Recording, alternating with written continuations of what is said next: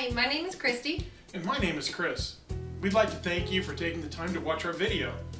Kristi and I have been married for 12 years. After several years of dealing with the challenges of infertility, our desire to become first-time parents is as strong as ever. We believe that adoption is the path that God has called us to. So stick around and you can get to know us a little bit. We live in a safe and modern neighborhood where we are close to schools, parks, and the river. We have a close knit family that lives close by and cannot wait to be aunts, uncles, grandmas, and grandpas.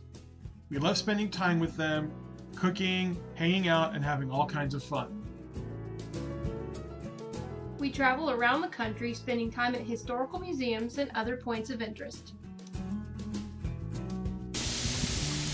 We love cooking, especially outdoors. We do it all year long. My father-in-law Tony introduced me to the tradition of smoking the Thanksgiving Day turkey. We have created our own tradition of having Sunday dinners. We plan a large meal, cook, and then enjoy each other's company during our family time. This is Rufus, the mischievous four-legged member of our family.